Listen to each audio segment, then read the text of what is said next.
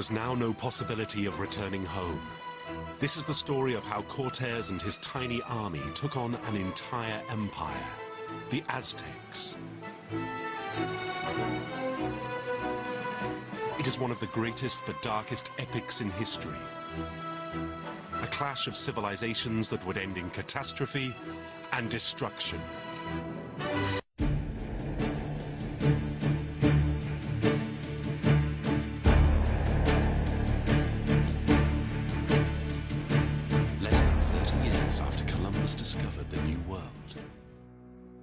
Explorers from Europe, traveling along its coast, began to hear reports of a fabulous city somewhere deep inside the mysterious continent.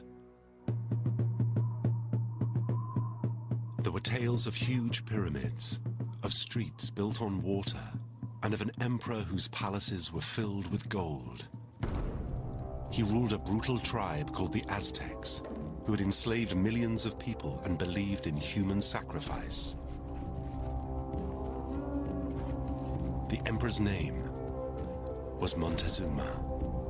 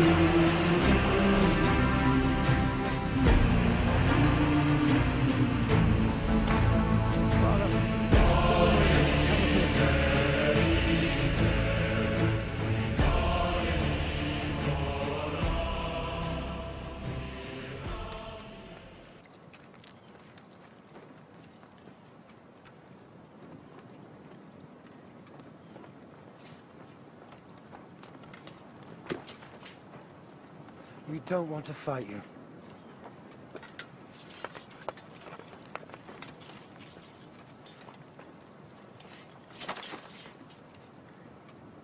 We are Christians.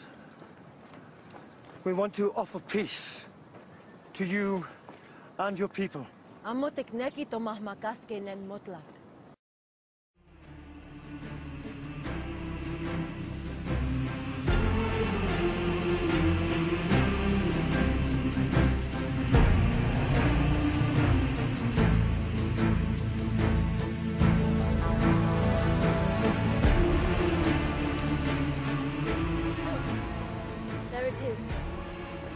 Tenochtitlan.